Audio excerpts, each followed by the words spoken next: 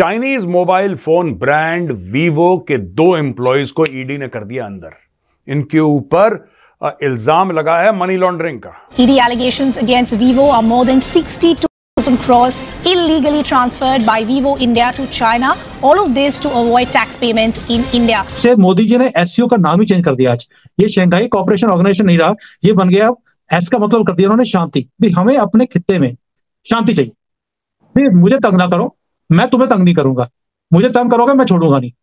भारत में कमाई कर बासठ हज़ार करोड़ रुपए से ज़्यादा की रकम अवैध तरीके से चीन भेजने के मामले में प्रवर्तन निदेशालय यानी ईडी ने विवो इंडिया के खिलाफ बड़ी कार्रवाई की है। India is already behaving like a super power लेकिन आपका एक एक एक्शन होता है वो पूरी दुनिया ऑब्ज़र्व कर रही होती और चाइनीज़ को अगर तंग करना है तो पैसे को कंट्रोल कर लो या तंग कर लो तो चाइनीज़ की तो चूचू निकलनी शुरू हो जाती है उसके बाद। तो थोड़ा सा टाइट कर रहे हैं इनको and that that is rattling China बहुत अच्छा हुआ ED very good enforcement directorate इन सबको कान से पकड़ के निकालो देश से। ये जितने भी चाइनीज़ हैं। ही ऑल्सो सेज मुझे छेड़ा तो मैं छोड़ूँगा नहीं घुस के मारूँगा। वो बेशक वो गलवान हो कहीं भी हो। तुम मेरे मारोगे तो मैं तो पाँच पाँच गुना जाके मार के आऊँगा मैं। हंड्रेड परसेंट हमारी ये नियत है कि इनको निकालना है आज नहीं तो कल। आज नहीं तो कल ठीक है? है साहब मैं सबसे पहले तो बताना चाहूँगा कि India India has a wonderful team right now those are looking after the Indian interest मैं उनको देख के अप्रिशिएट करता हूँ। चाइना में मानते हैं कि हाँ ठीक है करप्शन हो रहा है ठीक है इट्स नॉट बैड एक हक मानते हैं। और उल्टी सीधी प्रैक्टिसेस करना या चाइनीज़ कल्चर या चाइनीज़ सिस्टम का हिस्सा है। चाइनीज़ कंपनीज़ क्या करती हैं? उल्टी सीधी प्रैक्टिसेस उनकी इंडिया में हो रखी हैं। उल्टी सीधी प्रैक्टिसेस हैं। मनी लॉन्ड्रिंग ये सब इनकी आदत है इनका कल्चर ही ऐसी है। पाकिस्तान में कोई भी नई चीज़ नहीं हुई वही हो रहा है जो छिहत्तर साल से हो रहा है। लुट प्लान चल रहा है और उसको रोकने वाला कोई नहीं जय हिंद दोस्तों। दोस्तों चाइनीज़ स्मार्टफ़ोन वीवो का नाम आप लोगों ने कभी ना कभी सुना ही होगा। दोस्तों बहुत बड़ा फ्रॉड करते हुए पाई गई भारतीय जाँच एजेंसी ने आ, इनके ऊपर मनी लॉन्ड्रिंग का केस सिद्ध कर दिया। तो यानी वीवो कंपनी मनी लॉन्ड्रिंग करते हुए पकड़ी गई। दोस्तों मनी लॉन्ड्रिंग क्या होता है कि भारत से जो उन्होंने पैसे कमाए भारतीय मार्केट से और भारतीय लोगों से फ़ोन सेंड करके जो इन्होंने पैसे कमाए उस पर भारत सरकार को बिना टैक्स दिए हुए वो पैसा चाइना ट्रांसफ़र कर दिया। इसका मतलब भारत सरकार को जो बेनिफिट मिलना था बिज़नेस करने से वो बेनिफिट नहीं मिला। अब दोस्तों जब भारतीय जाँच एजेंसी ने ये सिद्ध कर दिया कि ये चोरी कर रहे हैं टैक्स की चोरी कर रहे हैं। तो दोस्तों, फिर उल्टा अपनी गलती मानने के बजाय, वो टैक्स भारत सरकार को देने के बजाय चाइना क्या कह रहा है कि भारत हमें जानबूझ के परेशान कर रहा है। दोस्तों, भारत सरकार ने कह दिया, तुम्हें अगर यहाँ से जाना है तो तुरंत भाग जाओ। कल नहीं, अभी भाग जाओ। लेकिन टैक्स तो तुम्हें हर हाल में देना पड़ेगा, नहीं तो तुम्हारे एम्प्लॉयज़ को भारत करेगा अरेस्ट और दो को अरेस्ट भी कर लिया दोस्तों पूरी दुनिया शॉक्ड रह गई कि भारत कैसे डायरेक्ट चाइना से पंगा ले सकता है। दोस्तों चाइनीज़ कंपनियाँ पाकिस्तान जाती हैं यूरोप जाती है और भी एशिया के देशों में जाती हैं मनमानी करती है। टैक्स नहीं देती ये नहीं देती लेकिन भारत में ये फंडा नहीं चलेगा। पूरी दुनिया शॉक्ड हो गई जब दो एम्प्लॉयज़ को अरेस्ट किया भारत ने। हिरासत में लिया गया है। उन्होंने बताया है कि तीनों को अदालत में पेश किया गया जहाँ से उन्होंने तीन दिन के रिमांड पर ईडी को सौंप दिया गया। Chinese mobile phone brand Vivo के दो एम्प्लॉयज़ को ईडी ने कर दिया अंदर। इनके ऊपर इल्ज़ाम लगा है मनी लॉन्ड्रिंग का। दोस्तों, ऐसी कई चाइनीज़ कंपनीज़ हैं जिनके ऊपर ऐसा इल्ज़ाम लगा है, उनको फाइन भी लगे हैं, लोगों को डिपोर्ट भी करा गया चाइनीज़ ने बोला है, जो चाइनीज़ फॉरेन मिनिस्ट्री उन्होंने बोला है कि हमने कॉन्सुलर एक्सेस मांगा है, हम इनसे बात करेंगे, ये हमारे चाइनीज़ सिटीजन हैं, हम इनसे बात करेंगे। शी जिनपिंग आज की डेट में ऐसी बातें कर रहे हैं, जब इनकी इकोनॉमी डाउन जा रही है। इनकी इकोनॉमी का हालत ये है यहाँ पर मैं अपने जो यूट्यूब चैनल है, उसके ऊपर मैं दिखाता हूँ हमेशा कि यहाँ पर जो मॉल्स हैं मार्केट्स हैं, वो आप देखिए कि हर तीन चार महीने में दुकानें चेंज हो जाती हैं। सस्टेन नहीं कर पा रहे लोग। एंड नया प्लेयर आ जाता है, वो भी दो महीने में भाग जाता है। जो मॉल्स हैं, वो खाली पड़े हैं। आप यहाँ पे मॉल्स का साइज़ ऐसा है कि किलोमीटर तक एक एक मॉल है। लेकिन 50 परसेंट से ज़्यादा दुकानें बंद हैं। एंड मॉल के अंदर मैं अकेला घूम रहा होता हूँ। कई बार तो ये होता है कि प्राइम टाइम पर ये ये हालत है कि एक भी आदमी दिखता नहीं आपको। तो ऐसे टाइम पर उनका ये बोलना, आप समझ सकते हैं कि जब पिछवाड़े में आग लगी हो तो आदमी ऐसी बातें बोलता ही है। लेकिन जब ये पूरे उसमें जोरों में थे, तब इनकी लैंग्वेज डिफरेंट थी।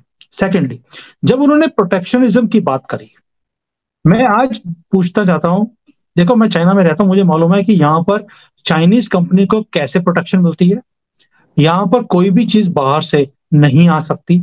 आज इंडिया से अगर जो माल यहाँ पर आने की अगर कोशिश भी कोई करता है, उसके ऊपर इतनी ज़्यादा रिस्ट्रिक्शंस है, इतना ज़्यादा प्रोटेक्शन है इन्होंने किया हुआ है कि दे डोंट अलाउ मैं फॉर एग्ज़ाम्पल देता हूँ आपको, जैसे इंडिया की जो मेडिसिन है, यहाँ पर नहीं आ सकती। जबकि India makes much cheaper medicine and better medicine than China also but they allow नहीं करते। तो प्रोटेक्शनिज्म किसने शुरू करी? और आज भी अपनी इकोनॉमी को अगर कोई प्रोटेक्ट कर रहा है फ्रॉम एवरी एंगल वो कौन कर रहा है? सो so, इनका ये बोलना कि ये प्रोटेक्शनिज्म से बाहर आना चाहिए शायद वो अपने ही लोगों को बोल रहे होंगे औरतों को इतना प्रोटेक्शनिज्म करता नहीं है जितना चाइना करता है। चाइनीज़ कंपनीज़ क्या करती हैं? उल्टी सीधी प्रैक्टिस उनकी इंडिया में हो रखी है। उल्टी सीधी प्रैक्टिस हैं। मनी लॉन्ड्रिंग ये सब इनकी आदत है इनका कल्चर ही ऐसी है। जो इन कंपनियों में काम कर रहे हैं भारतवासी मैं उनसे भी कह रहा हूँ आप दूसरी नौकरियाँ ढूंढो भाई। Don't don't work for the enemy आप मत करो। चाइनीज़ कंपनीज़ के लिए काम मत करो। अब हमें एक काम करना है छोटा सा यार। हमें यह काम करना है कि आप किसी भी देश का, आपको एप्पल का फ़ोन खरीदना है एप्पल का खरीदो सैमसंग का खरीदना है सैमसंग का खरीदो। यार, सबसे पहले प्लीज़ मेरी रिक्वेस्ट है हाथ जोड़ के आप लोगों से स्टॉप बाइंग चाइनीज़ फ़ोन तो ऐसा होता नहीं है। It cannot be one way traffic तो इसलिए मोदी जी ने एससीओ की जो टेक्नोलॉजी है, वो चेंज कर दी। आपने बोला कि मोदी जी को अच्छा लगेगा नहीं लगेगा। I would say Modi ji ने एससीओ का नाम ही चेंज कर दिया आज। ये शेंघाई कॉपरेशन ऑर्गेनाइजेशन नहीं रहा ये बन गया अब एस का मतलब कर दिया उन्होंने शांति। भी हमें अपने खित्ते में शांति चाहिए। भी मुझे तंग ना करो मैं तुम्हें तंग नहीं करूँगा। मुझे तंग करोगे मैं छोड़ूँगा नहीं। ये तो बड़ी कमज़ोर नहीं कि किसकी? Time and again prime minister Modi is asking for peace from China अगर देखें ये ये जो है asking for peace China is not asking for peace it's India which is asking for peace it is इसी तरह जैसे पाकिस्तान है which is asking for peace from India तो ये जो हम समझते हैं कि हम जंग नहीं चाहते क्योंकि हम और बहुत सारी चीज़ों में फंसे हैं आपको नहीं लगता कि इंडिया भी is asking for peace is ये वीकनेस है? वैसे तो okay. भारत का defence minister home minister prime minister जब पाकिस्तान का नाम आता है तो दौड़ते हैं।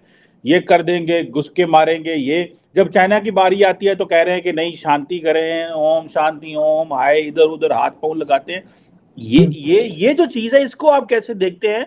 इसको कई लोग तो इंडियन सियासत में ये कह रहे हैं कि ये प्राइम मिनिस्टर मोदी जो है, उनकी ये बड़ी कमज़ोरी है और वो ही प्लेज वेरी सॉफ्ट और इतना स्ट्रांग नहीं चाइना के ऊपर खेलते। What do you make of that point sir जी, मैं साहब, पहली बात यह है कि हम इधर उधर हाथ लगाने वाले लोग नहीं है। जैसे आपने बोला ना कि इधर उधर हाथ लगा रहे हैं मिनते कर रहे हैं हम वो उस कैटेगरी में आते नहीं ना ही हमें बूट पॉलिश करने की आदत है। पहली बात तो ये हमारे डीएनए में नहीं है ये। दूसरी बात जो ये बहुत बात कर रहे हैं कि ऑपोजिशन बोलती है कि बड़ी कमज़ोर पॉलिसी है मोदी जी की ये वो लोग हैं जिनके दौर पर चाइना ने हमारा एक कब्जा काफ़ी एरिया के ऊपर कर लिया था। तो इनको बोलने का हक नहीं है वैसे क्योंकि उन्हीं के दौर पर चाइना ने हमारे काफ़ी एरिया के ऊपर अटैक कर, करने के बाद 62 में इन्हीं की गवर्नमेंट थी।